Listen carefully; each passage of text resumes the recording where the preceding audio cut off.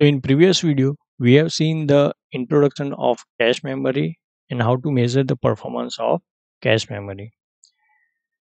Now in this video, we will look into the address mapping technique and out of three techniques, we will use or we will see the direct mapping. Now address mapping means decide which block of main memory has to be placed where in the cache memory right and there are three types of mapping process direct mapping associative mapping and set associative mapping. Now let's first look into direct mapping. So the direct mapping. In direct mapping the kth block of main memory kth block of main memory is placed in kth mod n.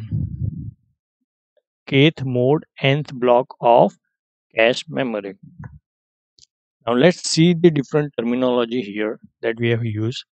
So what we are doing from main memory we are putting some block we are putting some block into cache memory right? And that is using this equation. So kth block of main memory.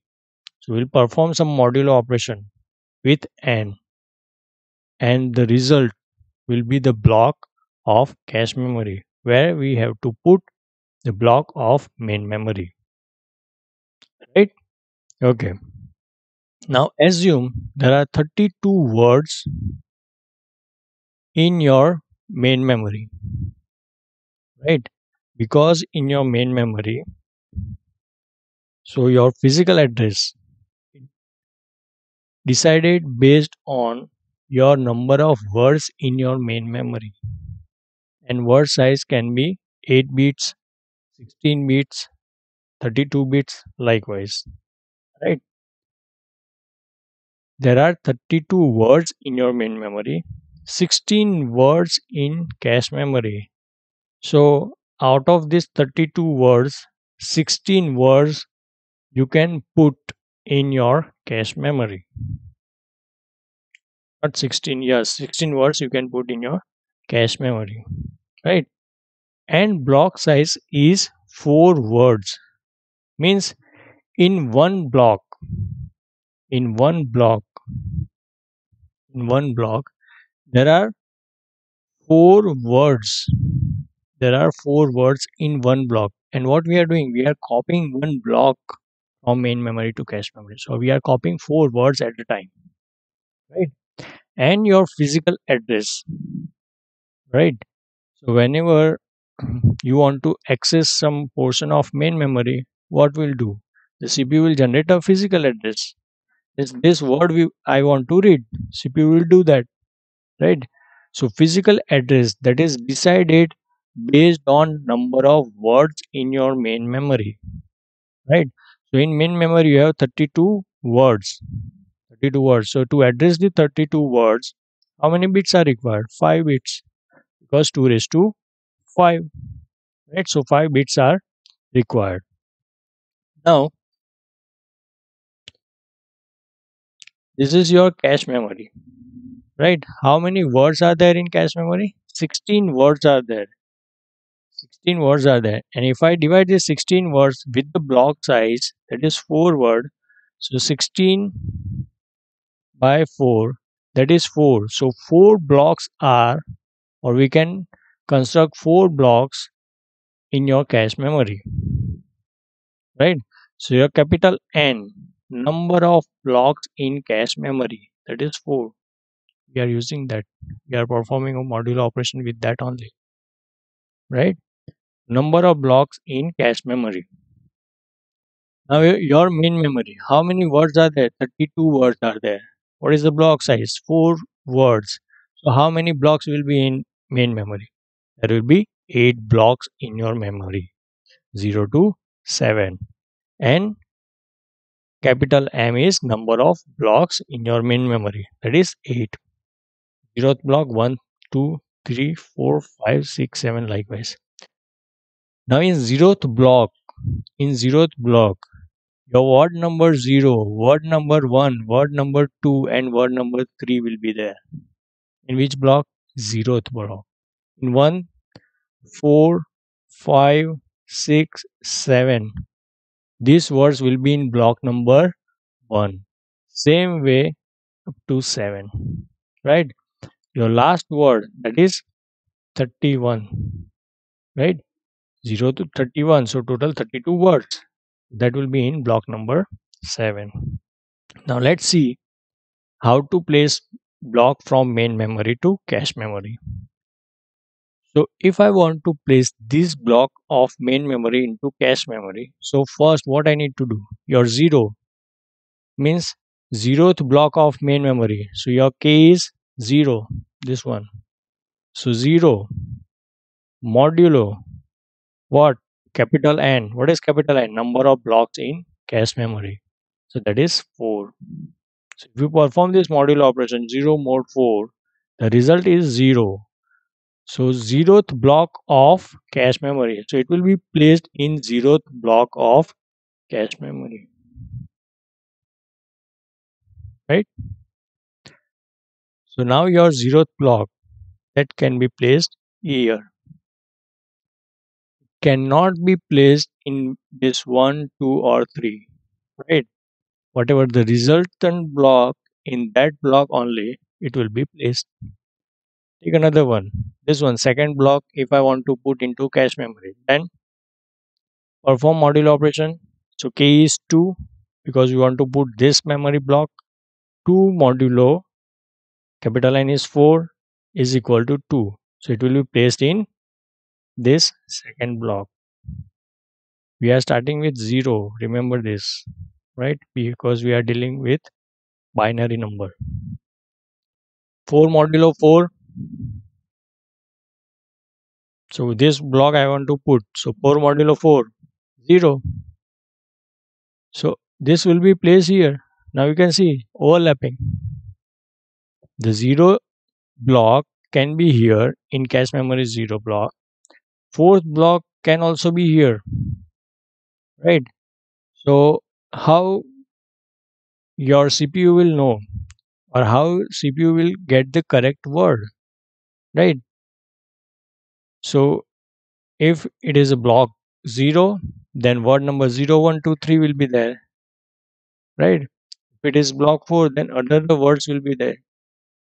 So the correct identification of that block number is required. Either block 0 is present or block 4 of main memory is present, right? So for that, so for that you require tag bit. Okay? So these are the tag fields associated with your cache memory. So this tag field is used to identify which block is present here. Right? Which block is present here. So that is the use of tag. Okay? Now how to put the bits in this tag how to put bits in this tag. So, which are the main memory blocks that can be placed in block 0 of cache memory? Which are the probable candidates for this? So, if you perform modulo operation, then 0 and 4 will give you result 0. So, they are the probable candidates 0 and 4. For block number 1, 1 and 5. For block number 2, 2 and 6 for block number 3 3 and 7 right? So here 0 or 4 here 1 or 5 here 2 or 6 here 3 or 7 so what i need to do if any block is present so the indication is either 0 or 1 or 4 right? So for to distinguish this one i just require one another bit right. And that is your tag bit. So here I require only one bit. If it is 0 then 0 if it is 1 then that is a 4 right. If it is a 0 it is 1 if it is a 1 then it is 5 block number 5 right. So 0 and 1 1 bit means 0 and 1 if it is 0 then this block is present at particular cache memory block. Right? If this is the one this is the one then these are the probable candidates 4 5 6 7 okay? So this can be placed here. Okay? Now let's see the example. 0 1 2 3 block 4 block 8 memory block. So 0 modulo 4 0 modulo 4 right? So it is placed here and tag is set. It is 0 because the block is 0 the block is 0 okay. What another thing you can interpret right? No need to perform this operation every time. If you want to did uh, write directly then how many blocks you have in your main memory? 8 so how many bits are required? 3 bits right? 3 bits are required. 1 2 and 3 now 3 bits are required. Now represent this 0 in 3 bits. 0 0 0 right? So first one that is your tag and last two that is your block number. So this block will go into block number 0 and the tag is 0 right? And how to divide this one? Based on your how many blocks are in your cache so four blocks are there. So to decide which block how many bits are required? Two bits. That's why i kept this two bits. Right? Now take another one. 4 4 if you represent 1 0 0 right? 3 bits. Right? Because 0 to 7 3 bit maximum and how to divide this one? Based on this 4 2 raised to 2 so 2 bits. So 2 bits. This is for cache and this is for tag. So 0 0 so block number 0 tag is 1 if it is 4 let's take this 2 for 2 3 bits. 0 1 0 this is for block. This is for tag. So 1 0 block 2 this is 2 and tag 0 simple. 7 modulo 4 right? 1 1 1 2 bits and tag 1 1 means third this one. Notice the tag 1 so it is 1 okay. So i am using block number here. Hmm. 4 modulo 4 so that example i have given you. So now the tag is changed 1 and this block will be placed here. Physical address. Because what cpu will give? Cpu will give you physical address. You want to access word not block. Cpu want to access word not block. Okay but from main memory to cache memory what we are copying? We are copying block. Right so it might possible that cpu want to access from this block 0 1 2 and 3 cpu want to access this uh, this word right? Word number 1 this word want to access right? So what cpu will do? Through physical address you will get in which block your uh, main memory block is placed and in that right now you have four words in this block. So from these four blocks i need to uh, give where the word is.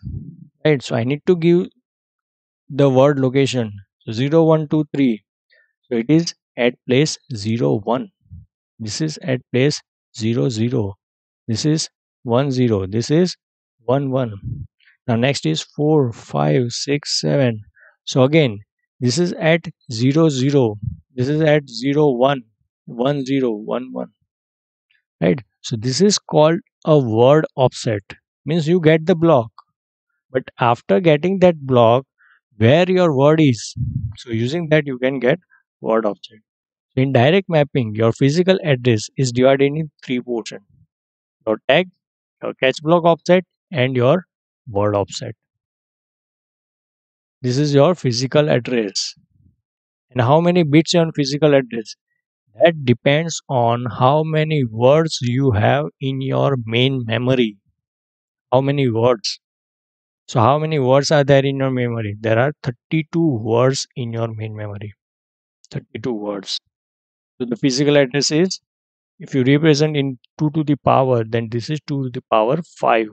So, 5 bits of physical address. Whenever CPU want to access any word, it will give you 5 bits. It will give you 5 bits. Now, this 5 bits is divided like this some portion some bits are tag some bits are cache block offset means which cache block and some bits are after locating that cache block at which place you will get the particular word? That is called a word offset. It is called a word offset. Okay. So as you know in one block in one block what is your block size? Block size. Block size is four words. Block size is four words. So word offset word offset that is if you represent this block size in 2 to the power 2 raised to 2 or take a log block size base 2 that will give you that will give you how many bits required for word offset. 2 to the power 2 and this is word offset. So 2 bits for word offset. Cache block offset. Cache block offset means which cache block? We have how many blocks? Four blocks. So if you represent in 2 to the power 2 raised to 2 right? 2 raised to 2 so 2 raised to 2 so how many bits? 2 bits for cache block offset so cache block offset will decide which cache block. Word offset will decide in that cache block which word. In that which word. Right? And this tag bit will verify whether the particular block that we want is present or not. Right? So now 2 bits 2 bits. So 5 minus 4 1 bit for tag 1 bit for okay? Or equation using equation you want to find out then first uh, your number of blocks in main memory number of blocks in cache memory your m by n m by n. And if you take log of it that will give you how many bits are required for tag right? So log of m by n base 2 right? Will give how many bits are required for tag now let's take one example that word number 9 if you want to access word number 9 right? So what cpu will does cpu will generate physical address for this word number 9 word number 9 right? And we want to check whether it is present in cache or not. This is the present scenario and we want to check. Okay so now let's represent this in binary. So 9 is 1 0 0 1 and 5 bit physical address. So this is 0 right? So it is represented like this. Uh,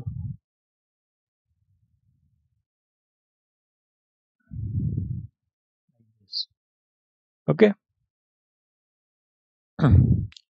0 1 0 0 1 this is your physical address. You can see 5 bits. So we are getting 5 bits.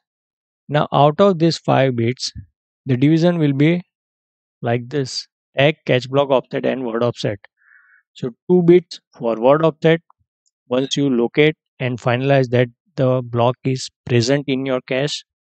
Then 2 bits for your cache block offset and one bit for tag. One bit for tag. Let me erase this one.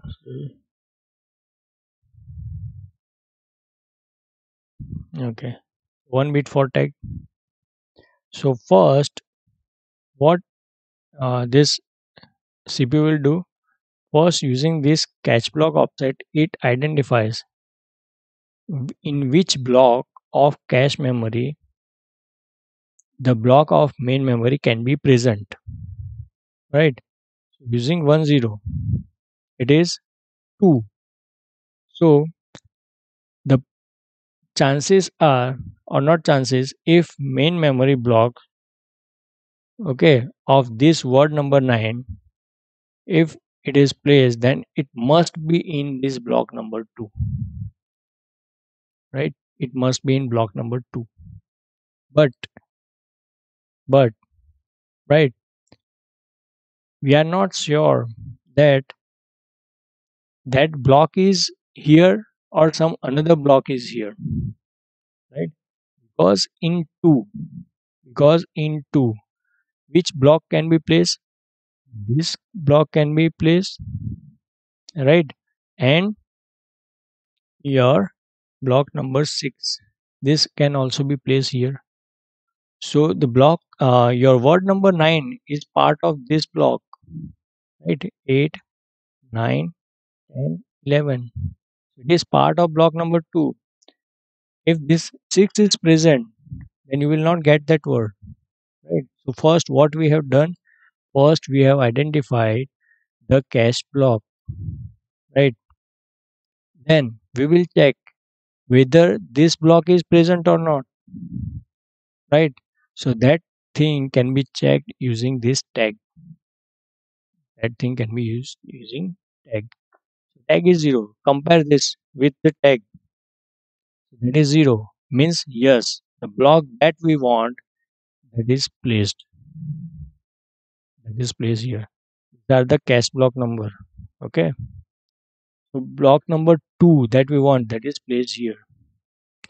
Now this thing is done. We have located the cache block of cache block we have located the cache block where that word uh, where that main memory block is placed right? So this is the place. Now from that block at which place that word is right? So to find that we have a word offset.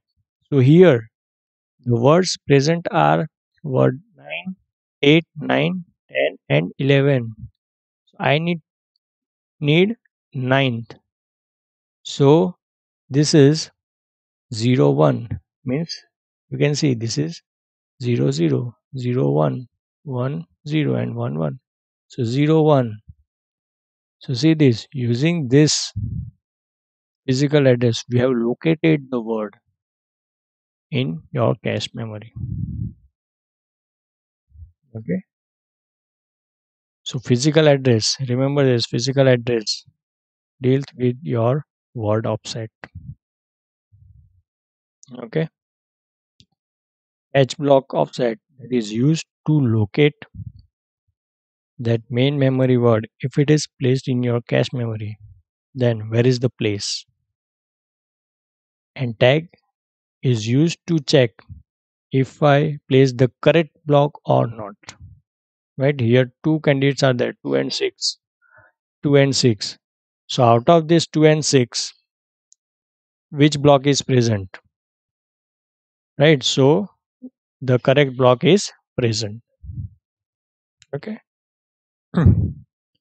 bits are same, so what is present? Now, try to solve this example. So in main memory 512 words are there. Your cache memory 64 words are there. And block size is 16 words. So now try to answer this question. How many bits for physical address? Right? So when it is a physical address you need to see words in main memory. How many tag bits are required so i have shown you how to find out that okay how many bits are required for cache offset how many bits are required for word offset. Then you need to place these main memory blocks in cache memory. Okay, and show the tag of each cache. to the tag of each cache right then check whether these words are present or not and so how right so in previous here i have shown you how it is present. How can i prove it? So this way i have proven it. Okay? Same thing you need to do. Thank you very much